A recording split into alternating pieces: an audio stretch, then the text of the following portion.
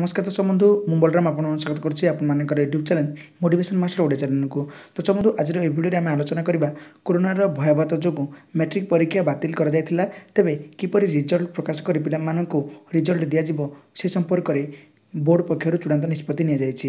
ତେବେ କରୋନା ଭୟାବହତାକୁ ଦେଖି ମ୍ୟାଟ୍ରିକ୍ ପରୀକ୍ଷା ବାତିଲ କରାଯାଇଥିବା ବେଳେ ମୂଲ୍ୟାୟନକୁ ନେଇ ଦ୍ୱନ୍ଦ୍ୱ ଉପୁଜିଥିଲା। କିନ୍ତୁ ଏହାର ସମାଧାନ ମିଳିଥିବା ଜଣାପଡ଼ିଛି। ମ୍ୟାଟ୍ରିକ୍ ମୂଲ୍ୟାୟନ ପଦ୍ଧତି ଚୂଡ଼ାନ୍ତ ହୋଇଛି।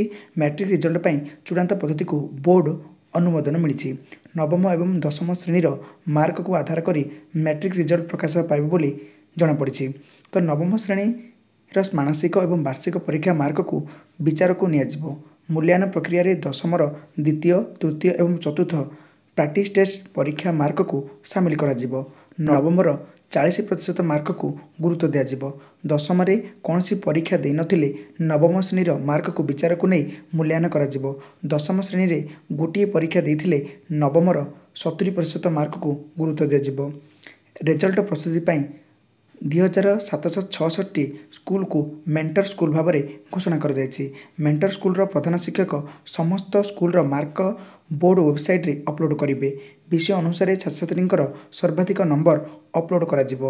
ମେ ପଚିଶରୁ ଏକତିରିଶ ମଧ୍ୟରେ ପ୍ରଧାନ ଶିକ୍ଷକ ମାର୍କ ଅପଲୋଡ଼ କରିବେ ତେବେ ମାର୍କରେ ସନ୍ତୁଷ୍ଟ ନଥିବା ଛାତ୍ରଛାତ୍ରୀ ପରୀକ୍ଷା ଦେଇପାରିବେ। କୋଭିଡ଼ ପରିସ୍ଥିତି ସୁଧୁରିବା ପରେ ଅସନ୍ତୁଷ୍ଟ ଛାତ୍ରଛାତ୍ରୀ ଲିଖିତ ପରୀକ୍ଷା ଦେଇପାରିବେ ବୋଲି ବୋର୍ଡ଼ ପକ୍ଷରୁ ସୂଚନା ମିଳିଛି। ତେବେ ସୂଚନାଟି ବହୁତ ଇମ୍ପୋର୍ଟାଣ୍ଟ ତେବେ ଛାତ୍ରଛାତ୍ରୀମାନଙ୍କୁ ଆପଣମାନେ ନିହାତି ଭାବରେ ସେୟାର କରନ୍ତୁ ଏବଂ ଆମ ଚ୍ୟାନେଲକୁ ନୂଆ ଦେଖୁଥିଲେ ସବସ୍କ୍ରାଇବ୍ କରନ୍ତୁ। ତେବେ ଏହି ଭିଡ଼ିଓରେ ଏତିକି। ରହୁଛି ନମସ୍କାର ବନ୍ଦ କରିଦିଅନ୍ତୁ